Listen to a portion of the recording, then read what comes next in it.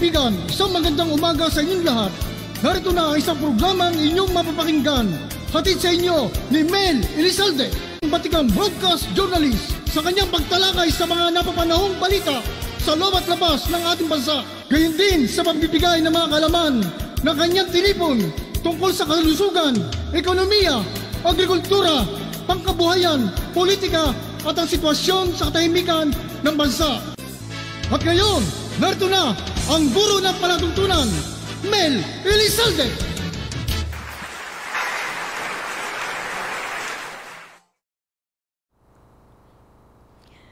Magandang, magandang, magandang, magandang umaga po sa inyong lahat, mga minamahal naming taga-subaybay. Kumusta po kayo? At welcome po sa ating studio mula sa Kalakhang, Maynila sa Elizalde Broadcasting. At dito po sa ating programang Ibitalakayan with your host, Mel Elizalde. Minus si ano, yung ating pong kapartner, si uh, Mr. Sammy Asentado Gabot. Medyo may malat pa ho siya eh, kaya ano, kanina kausap ko lang ho siya. Pero siguro po, Monday, okay na siya. So, y- yan po, uh, ngayon po ay uh, December 15, 2022. Malapit nang matapos ang taon. At uh, napakabilis ho ng araw eh, no? Napakabilis ng mga oras. At uh, parang kailan lang mag-uumpisa pa lang tayong uh, ika nga po pumili ng bagong uh, mamumuno sa atin noong May, nakaraan taon. At ngayon pala ay malapit nang matapos ang taon. At uh, yun na nga, meron na tayong bagong presidente at siyempre, busy-busy ho siya ngayon dahil sa nais niya talagang maibigay sa sa mga mamamayan, sa atin po lahat, ang the best. Kasi yan ho ang kanyang pangako. Well, uh, dahil ho sa mga nangyayari sa atin sa araw-araw, yung mga problema ho ay nauukil-kil pa yung mga tungkol sa uh, mga nagdaang mga nakaraang mga problema nung during the COVID days, no, nung, uh, more than uh, two and a half years na, no.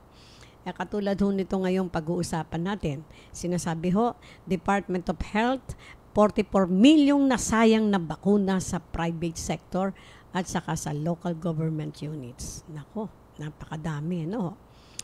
Isipin nyo yun, 20, 44 million na nasayang na bakuna eh ano ho ang halaga niyan. No? Kaya nga po tayo nag-utang-utang na katakot-takot eh dahil diyan. No? At isa ho sa mga naging problema po natin, ayan, sa dami ng nasayang na bakuna, dahil sinasabi po ng ating pamahalaan na maraming mga mamamayang Pilipino na ayaw magpabakuna during those times. Eh kasi nga po, doon sa mga nababalitaan at talagang yung kanilang mga kaanak o yung kanilang mga loved ones na nung nabakunahan ay bigla na lang hong nagkasakit, nangamatay, mga ganyan. Eh kasi ho, may mga karamdaman pala. Ayan ho yung mga bakunang nasayang. 44 million nasayang na bakuna. Ibig sabihin, hindi na pwedeng iturok sa tao. Ano ang gagawin ho dyan? Tatapon na lang. Hmm. Hindi naman ho pwedeng ibalik sapagkat nabili na ho yan. Di po ba? Kawawa naman ang, ang ating bansa. Lubog na naman sa utang. Pero karamihan sa 44 million na nasayang na bakuna kontra COVID-19 mula sa local government units, uh, uh, pribadong sektor, sinabi ito ni Department of Health, uh, uh, ano po, uh, Maria Rosario Bergere sa pagharap niya sa Senate Blue Ribbon Committee ayun ho, humarap na siya sa uh, Blue Ribbon Committee, no? Parang sinalang siya. Nagsasagawa ng muto proprio uh, uh, investigation. Ano ano po ba ibig sabihin ng muto proprio? Ito po ay isang Latin words na ang ibig sabihin on one's own uh, initiative. Ibig sabihin nagbigay ho ng uh, uh, ang DOH na dahil sa mga non-disclosure agreement ng DOH for vaccine uh, manufacturer ay sinabi ho, nagsagawa ng muto proprio. Uh, ibig sabihin ba, eh, kinakailangan ay eh, dapat yung own, yung one's own initiative o inisyatibo na kung saan kumbaga sa sariling sa sa sa Pilipino ho ibig sabihin sa sariling pag pagkusa ay eh, gagawin ang mga ano ho, yung mga isasagot o kasagutan, no. Ibinunyag ho ng DOH na 10.95% ng kabuuan na expired na bakuna ay galing sa COVID, sa COVAX facility. Ano kaya yung COVAX facility na yan? Sorry, hindi ko na ano. Ayon kay eh, kay uh, uh, DOH sa uh, exec ano ba to? Uh, DOH sa OIC uh, Maria Rosario Bergere na 33.5 33.35% tinatayang uh, 14.5 million mula sa LGUs, local government units at ang tanging at tanging 2.2% o tinatayang 2.9 uh, mula sa national government ang ano yung mga nasayang. Ibinunyag din ng DOH na 10.95% ng kabuuan na expired na bakuna ay galing sa COVAX facility. Hmm. You know, ah. Kaya nga sinasabi ho ayun, uh, medyo uh, pinagpapatuloy ng Blue Rib ng Blue Ribbon Committee ang mga investigasyon tungkol dito dahil po uh, yun nga eh sa dami ng nasayang na bakuna at saka siyempre pag nasayang yung bakuna eh ang ibig sabihin yung pera nasayang no eh ngayon dahil sa uh, ito nga ho ginamit sa batas yung sinasabi meaning of mutuo proprio In the Philippine law, sinasabi na on his own impulse describes an official act that taken without a formal request from another party. So, hindi na ho nila kailangang mag-formal uh, request na kung ano-anong mga uh, dokumento. Eh, gagamitin daw ho itong uh, ano na to, uh, investigation. No? Magsasagawa ng mutuo proprio investigation dahil sa non-disclosure agreement ng DOH para sa um, vaccine manufacturer. Biro nyo, ayaw ho, non-disclosure daw, hindi pa pwedeng ibunyag kung ganon. Uh, dahil uh, sa dahil ang agreement daw ay mula sa vaccine manufacturer at DOH. Ano po ibig sabihin yan? Pe, parang ayaw ho nila ipaalam o ano talaga ang presyo o ano talaga ang bilang ng ano ng mga vaccines na na, na binili ng government natin. Di po ba? Ganon. Kasi non-disclosure eh. Parang sinasabi, hindi eh, po pwede namin i-divulge yan kasi meron kami agreement na non-disclosure. Ibig sabihin, hindi sila pwedeng magsabi. Ba, pwede ho ba yun? Siyempre, pagka sa investigation na, kinakailangan ho malaman ng katotohanan, eh dapat talagang ibubunyag yan. Kaya pinasok na ho yung sinasabi na Latin words na yan na kung saan ginamit ng uh, sa investigasyon. Eh dapat lang ho, oh, dami-daming uh, mga ano na yan, mga vaccines na yan. Naalala ko po nung ako'y nagpa-vaccine, uh, binigay sa akin, ano eh, Johnson. Johnson ba yon? Mm. Oh, isang turok lang. Ganyan ang bote. Mm. Na, tinitignan ko, Diyos ko, sabi ko, ano ba yan? Tinanong ko pa nga yung nag-inject na nurse sa amin na ano ba ma'am, yung pang ginagamit ng mga needles na bawat isa itinatapon after. Oh, oo, oh, sabi niya hindi pwedeng gawing dalawang dalawang tao isang isang isang needle.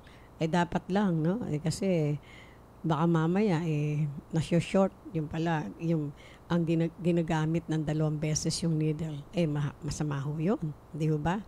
Dahil sa dami ng nagpapabakuna, alaalala ko po noon na doon sa amin lugar ay pila-pila. Hmm pila-pila po ang mahabang linya ng mga nagpapabakuna. At siyempre may linya para sa senior citizen, sa mga medyo may karamdaman, etc. At kukuhanan pa muna ng blood pressure, ng mga ganon, no? Eh, pero kahit na ganun ho ang ano ang sitwasyon, dapat lang ho gamitan ng ganitong pagsusuri dahil kung hindi, eh baka mamaya gagamitan nila na non-disclosure agreement daw with the DOH at saka yung vaccine manufacturer. Eh pagka ganun no, ano yung makukuha nating ano ho, uh, makukuha nating mga uh, kinakailangan nating makuha sa during the investigation ang Blue Ribbon Committee. Wala hong ma-divulge na mga bagay-bagay dyan pa, tungkol sa para maimbestigahan kung ano talaga ang nangyari dyan sa pagbili uh, ng mga uh, milyon-milyon na bakuna na kung saan nasayang ang apat na apat na milyong bakuna. Ano, napanis yun. No? Dahil sa wala po tayong uh, ika nga yung sapat o yung talagang appropriate doon sa mga vaccine na mapag-iimbakan. Kasi tila yata ang ano niya, kailangan malamig na malamig na lugar. Eh wala ho tayo yata noon. Meron, pero hindi kaya nung uh, temperatura ng lamig na yan. Kulang pa. Kung kaya't napanis na panis ang apat na, apat na milyon. Yan ho yung mga kalungkot-lungkot na mga pangyayari during the hard times, difficult times natin sa COVID-19 years. No? Uh, alam nyo naman na during those times, walang halos nagtatrabahong tao, lahat nakakulong, lockdown. Nakakatakot to eh. Pagbabalikan ninyo, parang hindi ko maisip kung paano ho tayo nakaligtas sa mga ganon na kung sa paglabas nyo sa kalye, halos walang mga sasakyan, walang mga taong uh, na makikita nyo. Samantalang dito po sa Pilipinas, isa sa pinakamasayang lugar kasi 24 hours ang, ang tao sa karsada, sa totoo lang. Pag pumunta kayo sa, isang, sa ibang bansa, mga 6 o'clock pa lang in the evening, wala na kayong makita kahit summertime or lalo pa pag uh, winter time. Pero dito ho sa atin, do dalawa lang ang panahon na natin, eh talaga namang masisiyahan kayo at hindi kayo matatakot dahil napakaraming tao sa karsada. Lalo na po sa uh, uh, ano sa mga syudad, no, katulad ng Manila, Metro Manila. Ay kaya nga maninibago tayo talagang husto at uh, pagka minsan ay hindi nyo maiwasan ang magbalik tanaw kasi sa dami ngayon po ng tao na napakasayang tignan. Bagamat, syempre, nakatatakot din sapagkat uh, hindi pa ho tayo masyadong nakakawala nga dyan sa COVID-19. Ang mga tao ay talagang wala na yan, tang takot. Although sila naman ay naka, ano, suot ng face mask. Kasi hindi na uso ngayon ho yung face, ano tawag doon? Face, yung ano, isa yung malaki, yung plastic, face shield na kung saan mahal ho yun eh. Hindi ba yung plastic na yon at para tayong astronaut noon. eh, biro nyo, nung unang labas ho yun, sandaan mahigit yun eh. Sa totoo lang. Oo, totoo. Doon sa may amin, 100 plus yun. Nakabili ako niya noon. At napakamahal. At tapos eh, uh, bandang huli, salamat na lang at inalis na. Eh, halos hindi na tayo makahinga, eh, hindi po ba? Itong face shield lamang, eh, hindi na nga tayo makahinga, tinitiis natin dahil tapos lalagyan, ay, ng face mask, tapos lalagyan pa ng face shield, dalawa-dalawa. Eh, kaya hindi nyo na ho mamumukaan ang inyong mga kaanak, yung mga kamag-anak, no? Pagka naka-face mask na, naka-face shield pa, eh, talagang tititigan nyo muna yung tao, kilala, ka, kilala ba kita? Do I know you? Kasi nga po, nakatakip para tayong, ano eh, uh, si Lone Ranger na nakamaskara, no? Pero ginagawa lang ho nating nakakatawa pero sa totoo lang malaki ang nagawa ng face mask po sa kaligtasan ng mamamayan ng buong mundo. Kasi yan ang nagligtas din ho sa atin dahil sa para masawata ang mabilis na pagkalat o pag, pagkakahawahan sa COVID-19. Pero ang nakalulungkot lang dito sa ating bayan, eh sumobra ang taas ng mga bilihin.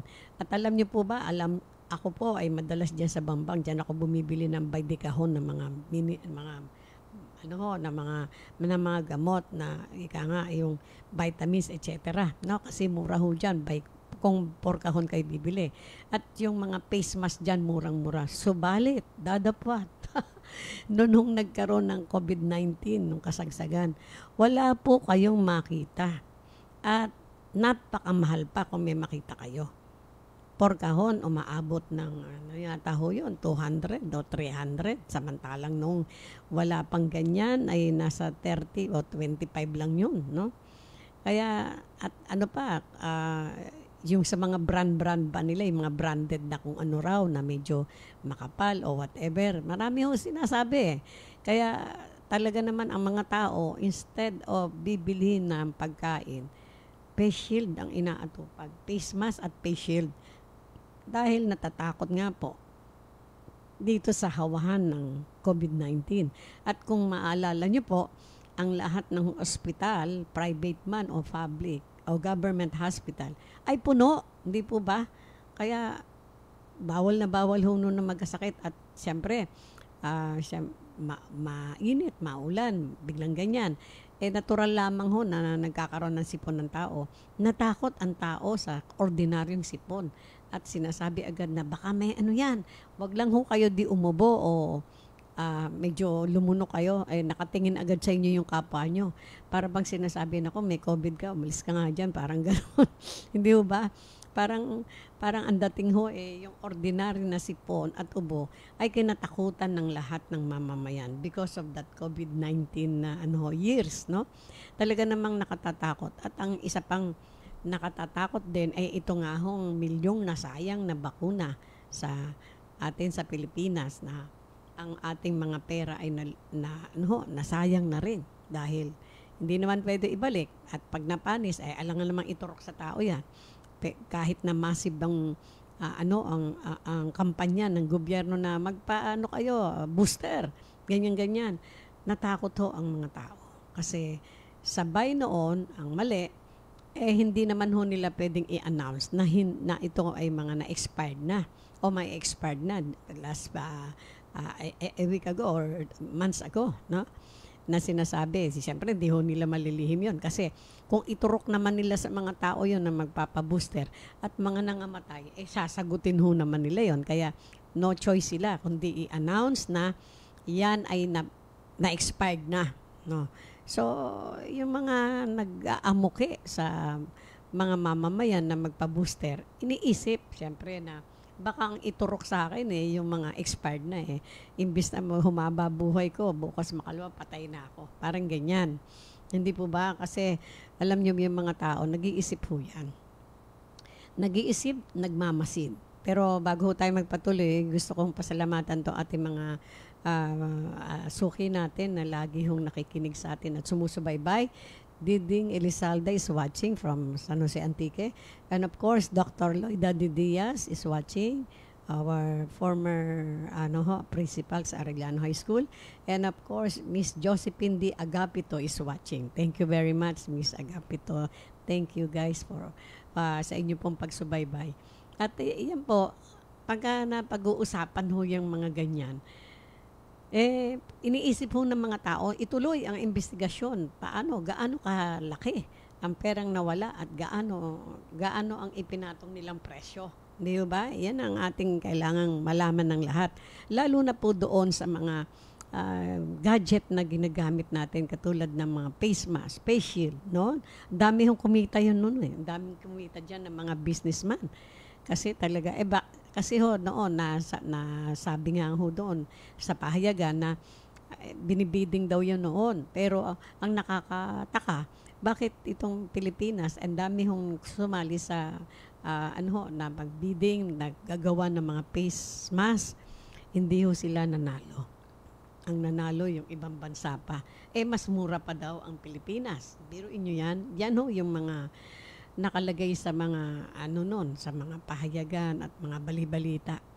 Kaya nga ho, ang ating uh, mga senador, ang mga mambabatas natin sa pamagitan ng Senate sa kanilang Blue Ribbon Committee ay talaga namang saludo po tayo dahil talagang pinaimbestigahan ho nila at dapat lang po no sana po ay patuluyan na tong imbestigahan dahil Nakita nyo naman, meron na nakulong noon eh, tungkol doon sa Parmalee, kung natatandaan nyo po yon Yun yung mga tao ng, uh, na kung saan eh, medyo nakitaan sila na bakit sila uh, nakapagbenta ng ganon samantalang wala naman palang opisina.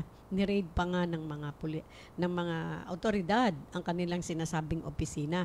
Eh wala naman hudong tao at wala naman ganun such at such o ano ho na opisina. Nakita niyo po yan?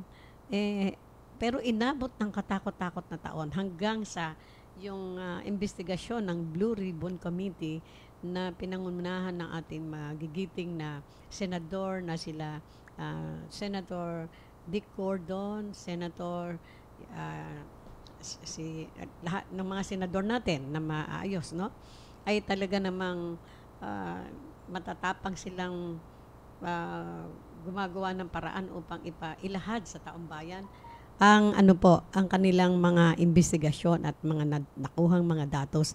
At naalala niyo po ba na, na may napakulong nga sila yung yung taga-India na lalaki, no? At uh, ayaw naman magsalita. Marami ho. Ang, uh, later on ay uh, sana ay tatakas nga sila eh. At of all the places, bakit sila sa Davao sumakay, sasakay ng eroplano? Eh, pero very timely naman na ang ating mga autoridad ay inabutan silang sasakay sana para eh, saan sa pupunta, uwi na yata eh, no? Pero sila ay nasa bat kung kaya't uh, napigilan sila. Yan ho yung mga uh, concrete evidence na nangkuha pero naabutan sila ng uh, eleksyon at marami pang mga kung ano-ano kung kaya't nahinto ang investigasyon niyan. Uh, kasama po natin uh, sa, sa, sa kasama po nila yung mga gigiting nating mga senador si Senator Franklin Franklin Drilon, of course sa pangunguna ni Senator Dick Gordon. Lahat po 'yan ay ating pong pinapupurihan dahil sila yung matatapang na talagang nagsasabi na kailangan malaman ng taong bayan how much gaano karaki ang mga nalustay na pera dito sa mga uh, pag ano pag uh, pag uh, ano tawag dito pagbili ng mga uh, mga kailangan nung during the time of COVID-19.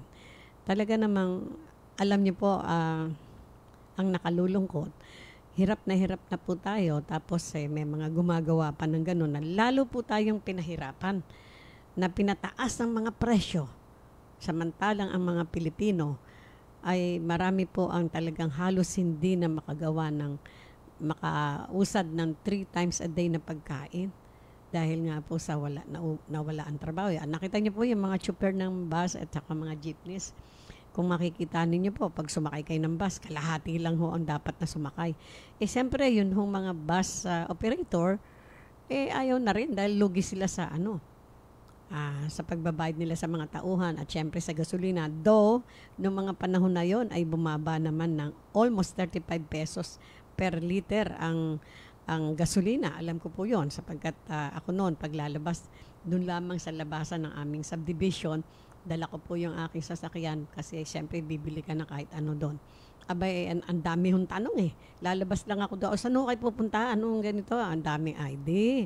Kaya ho talagang napakalungkot tignan ang ano ho, ang kapaligiran. Walang tao, walang sasakyan. Kung may sasakyan man, mga private, tapos met maya, ang dami-dami hong pulis sa karsada. Yan ho yung mga senaryo na, na kung saan, eh hindi ho natin malilimutan. At yung mga hindi nakaabot po ng mga uh, sa ganitong mga sitwasyon, mapalad kayo dahil uh, walang nightmare kayong babalikan. Alam nyo, parang isang masamang panaginip yung mga taong lumipas na yan. Dahil kalungkot-lungkot ang lahat ng bagay at uh, marami during that time so eh alam niyo po ba na marami tayong mga kaso ng mga nagpakamatay totoo po yan kasi na-depress ang mga tao. At syempre, yun pong ating mga kababayan na hindi nakayanan ang mga kalungkutan, eh ano po, nagpakamatay sila. Marami po tayong kaso noon. Yan o yung sinasabing, uh, alam nyo, ang mga tao eh, iba-iba. Hindi po ba merong matapang, merong malakas ang loob, emotionally stable, meron naman emotionally unstable na kung saan eh parang ano ho, uh, konting kalungkutan, iniinda niya at halos hindi na siya makagulapay kaya napili niya ng kitlin ng sarili niyang buhay. Bukod sa mga sakit at mga kahirapan tungkol sa pinansyal, sabay-sabay hong nangyari yan. At yan po ay hindi lamang sa ating bansa. Even doon sa mga mayayamang bansa, eh, mas talaga rin silang um, milyon din ang namatay sa kanila ron. At dito rin sa atin, at uh, habang tayo ay nakikinig ng mga news at the same time, nagbabasa tayo ng dyaryo during those years, hindi ho natin mapigilan ang mag-isip, malungkot. At parang sinasabi natin, ito na ba ang katapusan ng lahat? Pero siyempre sa awa ng Diyos, ang lahat po ay nakukuha sa panalangin. At siyempre, pag-iingat din.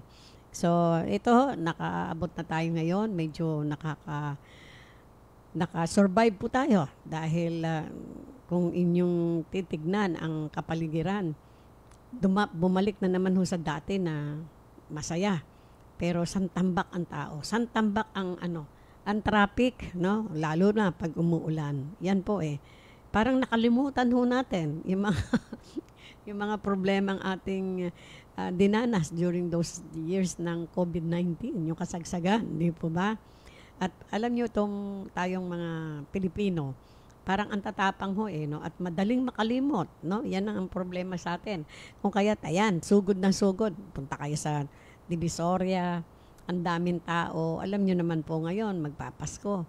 Eh, sasabay po tayo dyan kung na pwede namang ipagpaliban yung mga pagbili-bili na yan dahil hindi alam niyo yung mga bumibili dahil ang hinahabol yung kapaskuhan eh.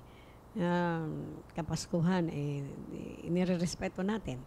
Pero kung atin pong lilimiin at makakabigat naman sa ating uh, ika nga kalusugan, sa bulsa, eh whatever, huwag tayong makipagkontesan.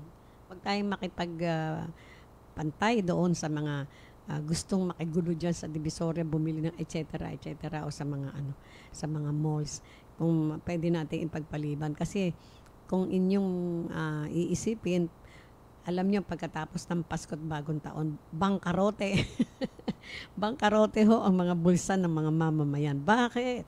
Eh sumabay ho sa gastusan eh. Ayaw patalo. Bili dito, bili doon. Yan ang nangyari. Ito, paalala sa inyo, mga minamahal kong taga-subaybay. Eh, wag ho tayong makipagkontesan dyan kung hindi naman maka, hindi natin ma-afford. At syempre, binabudget ho natin ang ating pera. Kailangan budgetin dahil kung hindi, eh tayo rin ang magdurusa. Hindi natin alam kung ano ang eh, mangyayari sa mga finances natin dahil uh, yung panahon eh hindi natin natitiyak kaya nga po, uh, although magpapasko, syempre gusto ho nating uh, maganda, meron pagsasaluhang masasarap na pagkain, makabili ng magagandang damit, etc. Uh, well, uh, lahat ng ho yan ay uh, gusto ng mamamayan.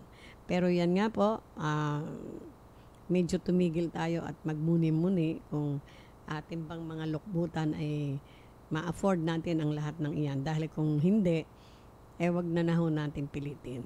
So, uh, yan pong uh, report ng DOH na 44 milyong nasayang na bakuna sa private sector at uh, ano, local government units, eh alalahanin po natin ito at wag ialis sa ating isipan. Laging bukas ang mga tenga at ang mga mata ay nakamasid. Dahil kailangan po nating subaybayan ito, mga pangyayari na to, at ano ang kalalabasan ng investigasyon. Huwag ho tayong maging uh, sa umpisa lang eh sige manonood tayo ng ano sa sa sa Senado. Kahit na alam niyo naman po yan televised yan eh. Dapat ho talaga tayo mga mamamayan ipinagmamasdan ho natin sapagkat tayo po involved diyan ngayon kung wala man lang mag uh, ano manonood or what hindi tayo ano hindi ho tayo interesado. Eh, alam niyo po ba na hanggang ngayon nagdurusa ang bayan dahil diyan? O, oh, yan po. Ah, kaya, mga minamahal kong kadiska, ay, mga, at, mga taga-subaybay, eh, wag ho tayong lumimot sa mga nakaraan. Kailangan natin subaybay hanggang wala pang nangyayari. Kailangan no, may mangyari, hindi ba? Ano ibig sabihin niya? Eh kung pababayaan lang natin, dadaan ho natin sa limot abay uulitin ng uulitin yan. Hmm? Na mga negosyanteng nakaka ano eh, nakakakonsumi at walang walang awa, puro bulsa niya lang iniisip. So, uh, pasamantala tayo po ay magpapaalam at uh, syempre eh, gusto po natin batiin yung ating mga kaibigan. Uh, si yung brother-in-law ko na nasa Antique, si brother-in-law Jimmy Elizalde at yung, ang kanyang pamilya. Of course, uh, si Mr. Hill Ontiveros and his beautiful wife, our friend uh, Cholay sa San Jose, California. At si May Garcia, of course, from San Jose, California also. And my good friend in uh, San Francisco, California, Mr. Josepina, yeah, I mean, um, Miss Josepina Zacarias, magagalit sa akin to, sexy-sexy pa naman. so hanggang sa muli, mga minamahal naming uh, taga-subaybay, don't forget to like us, follow us, and share us. And of course, subscribe to Elizalde Broadcasting sa ating pong YouTube channel at sa ating pong Facebook channel. And don't forget, I always say, I love you all. Bye-bye.